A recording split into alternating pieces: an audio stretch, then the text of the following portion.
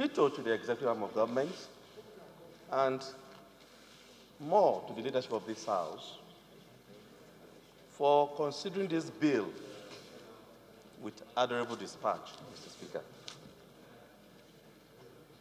My fellow colleagues, I want to observe that no Nigerian worker earn a living wage. I've tried to compare notes with other clients where minimum wage is determined per man hour. And I've broken this 27,000 proposed down.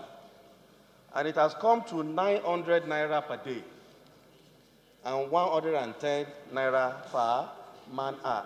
Assuming, without considering that a worker works for eight hours. Mr. Speaker, this is a bill before the Parliament. Our House rules and the Constitution permits us Come, come. to panel beat this bill. So that at the end of the day, we will make Nigerian workers happier. The point I'm making, Mr. Speaker, is this that the 27,000 or 30,000 proposed is grossly, grossly inadequate, Mr. Speaker. Mr. Speaker, I'm also worried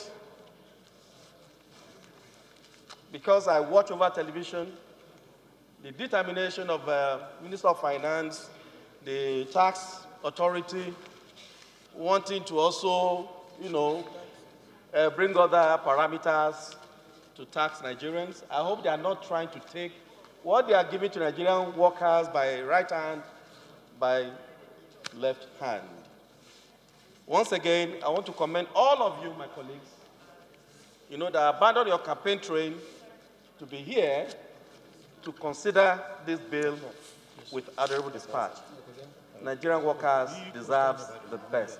And that is the only way. When a, when a Nigerian worker earns a living wage, it is then you can eliminate corruption, both in the public service and in the private sector. Thank you.